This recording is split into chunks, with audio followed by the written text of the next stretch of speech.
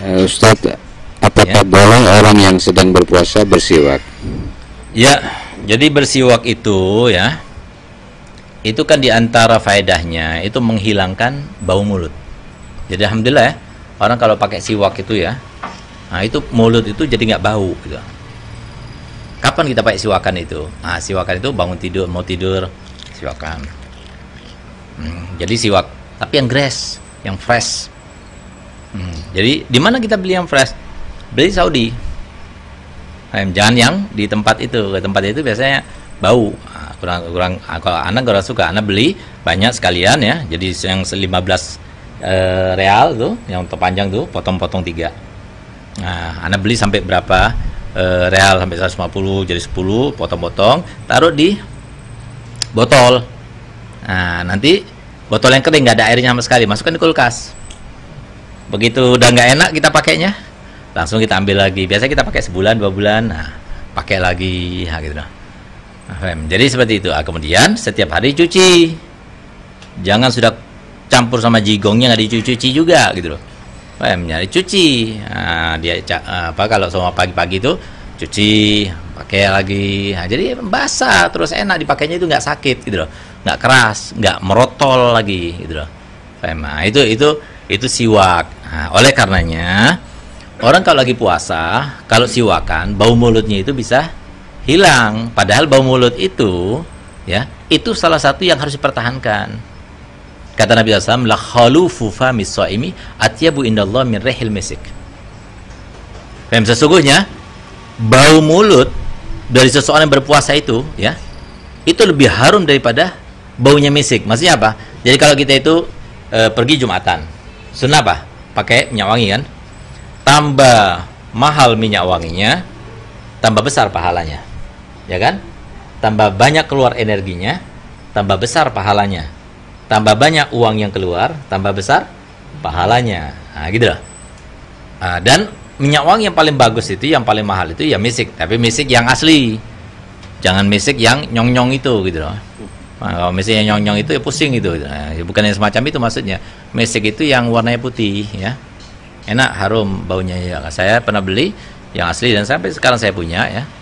Nah itu harganya eh, satu sepuluh sa- satu tola ya. Satu tola itu atau 10 mili PM itu bibitnya itu sampai 300 350 real gitu ya. Kalau uang sini 700 eh, sampai satu jutaan lah gitu. Jadi ribu jutaan itu nah itu mesik gitu. Jadi eh, baunya mesik itu seperti itu. Nah itu kalau kita pakai untuk jumatan kan besar pahalanya. Lebih besar pahalanya yang menetapkan ya mempertahankan bau mulut yang enggak enak itu karena kita puasa daripada kita itu pakai minyak wangi pada waktu Jumat atau waktu Lebaran. Itu loh maksudnya gitu. Ya paham nah oleh karena itu maka para fuqaha biar mengatakan kapan bau mulut itu tampak? Bau mulut itu pagi belum tampak kecuali emang kalau mulutnya membau dari pagi sudah tampak gitu loh oleh karenanya orang yang punya bau mulut ya sadar Artinya apa? Itu diperintahkan Nabi SAW untuk dihilangkan baunya. Kenapa? Nabi SAW bersabda an-nadhafatu minal iman. Jadikan diri kita itu kalau orang itu kumpul sama kita senang. Jangan kumpul sama kita dia langsung nggak enak atau tahan nafas. Apalagi kalau seumpama untung sekarang ada corona jadi nggak pakai cipika-cipiki gitu. Pakai nah, kadang-kadang ada yang udah selaman nggak cukup pakai selamat cipika-cipiki lagi gitu. Sambil cipiki ya baca salawat lagi sallallahu alaihi wasallam bau mulutnya nggak enak lagi nah, gitu karena hanya kita nahan nafas begitu. Nah, jadi oleh karenanya, jadi jangan sampai ada bau mulut ya. Kalau semua kita itu bau mulutnya, makanya eh, masker itu banyak eh, apa fungsinya, hikmahnya itu banyak. Di antaranya eh, fungsinya masker itu ya, selain dia itu bisa menahan diri, eh, mencegah diri daripada eh, terpapar COVID-19, di antaranya adalah kita tahu bau mulut kita kayak gimana gitu. Nah, itu loh, itu di antara faedahnya. Orang sekarang banyak yang nggak paham, bau mulutnya nggak enak, tapi ngomongnya dengan ditutup mulutnya. Harusnya kalau dia itu sadar, bangun tidur, ya, uh, atapnya masih bau-baunya gitu, itu kalau ngomong itu hendaknya ya tutup gitu loh. Jadi jangan sampai kita ngomong, akhirnya orang itu dengar bau kita kan, akhirnya eh, orang itu kan menghindar dari kita atau menahan nafasnya dan sebagainya gitu. Karena tidak ada satu orang pun yang senang dengan bau mulut itu nggak ada. nggak dirinya sendiri nggak orang lain. Apalagi orang lain. Dirinya sendiri nggak senang apalagi orang lain gitu loh Nah, atau dia mendekat kepada kita. Nggak tahunya kita termasuk yang eh, bau ketiaknya. Bau lidah buaya misalnya gitu. Nah itu kan jadi orang itu apalagi orang seperti eh, apa ustadz dan sebagainya nggak nggak pantas yang semacam itu gitu. Innallaha jamilun yuhibbul jamal.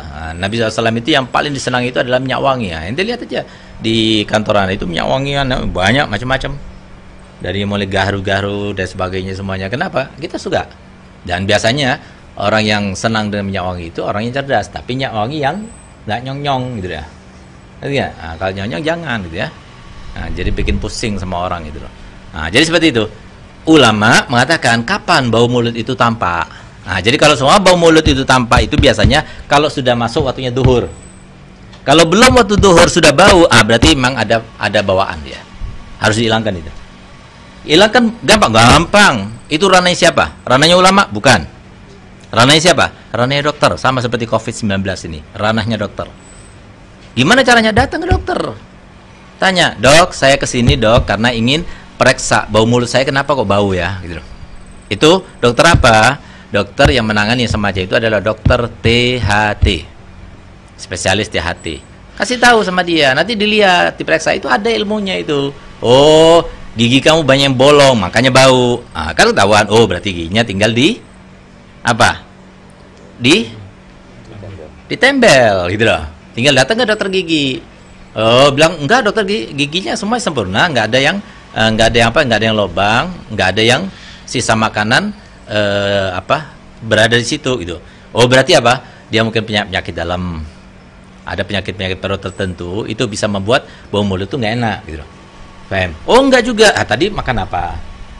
Oh tadi makan bawang mentah, hai pantas. Tadi makan apa? Petai, jengkol, ya pantas, bau mulut gitu. Nah itu tinggalkan. Jadi kalau ente mau kumpul sama orang jangan makan petai, jangan makan jengkol. Makanya hukumnya makruh gitu loh. Nah, jadi seperti itu. Cari uh, alasannya itu apa, sebabnya itu apa gitu. Nah, karena bagi kita itu diperintahkan untuk menjadi orang yang sempurna. Fem, walaupun nggak ada yang sempurna kecuali para nabi dan para rasul, tapi kita dituntut untuk menjadi orang yang sempurna pada dalam pandangan orang, karena Allah, bukan karena manusia itu, tapi karena Allah. Kita diperintahkan seperti itu. Oleh karena Nabi SAW dalam hadisnya mengatakan, Inna Allah yuhibbul mu'minal gawi minal mu'minit doif. Allah itu tuh lebih senang, fem kepada mukmin yang kuat daripada mukmin yang lemah. Wa fi khair. Allah Taala lebih senang kepada mukmin yang rapi daripada yang nggak rapi. Fem mukmin yang sehat daripada yang nggak sehat. Nah, itu kan dikiaskan ke situ semuanya gitu. Nah, jadi bahkan Imam Syafi'i mengatakan wala turi lil adi qatazullan fa inna syamatatal ada bala'u. Jangan kalian tampakkan yang namanya kekurangan kita apalagi sampai ketahuan oleh musuh karena sebuah cerca ah, karena kalau sumpah aib kita ketahuan sama musuh maka akan jadi sebuah cercaan kepada kita nanti gitu. Nah, oleh karenanya kita itu sebisa mungkin menutupi. Jangan tampak gitu. Fem. Nah, menutupi dohir batin. Dohir supaya tidak jadi omongan orang. Batin supaya kita selamat daripada dosa. Nah, itu maksudnya. Nah, itu di, diperintahkan dalam agama seperti itu. Nah, jadi an-nadhafatu minal minal iman. Nah, kata ulama, berubahnya mulut ini ketika masuk waktu sholat duhur. Makanya kalau sudah masuk waktu sholat duhur, hukumnya makruh pakai ini. Tapi sebelum masuk waktu sholat duhur, boleh kita pakai. Sunnah masih, masih sunnah. Tapi diperhatikan kalau kita lagi puasa, kita bawa pakai siwak ya.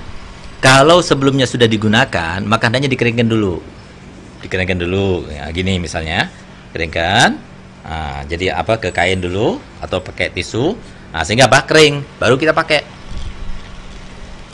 Takutnya kalau masih basah, kemudian kita pakai lagi, maka basahnya tadi kan karena air ludah. Air ludah sekarang bercampur dengan air ludah yang di dalam ini, kemudian kita telan batal loh puasa kita. Itu maksudnya. Karena apa? Kita meminum air ludah, menelan air ludah itu kemudian tidak apa-apa, asalkan tidak bercampur dengan najis. Dan masih di dalam sekitar mulut, belum keluar. Ah, kalau ini kan sudah keluar, terpisah. Masukkan lagi, berarti kan sudah dari luar bercampur dengan air ludah kita di dalam itu bisa membatalkan puasa gitu loh. Nah, jadi kalau sudah e, duhur maka hukumnya makruh. Tapi sebelum duhur nggak makruh. Ada juga yang berpendapat eh, sampai asar. Fem. Nah, itu kalangan habaib itu biasanya sampai asar. Nah, ada pula yang berpendapat tidak makruh selamanya. Tetap hukumnya disunahkan untuk bersiwak. Nah, itu pendapatnya Imam Nawawi. Silahkan ya mau uh, pakai uh, siwak tapi pastikan untuk tidak sampai ada bekas ludah yang sebelumnya digunakan gitu ya. Nah, jadi seperti itu. Wallahu subhanahu wa taala.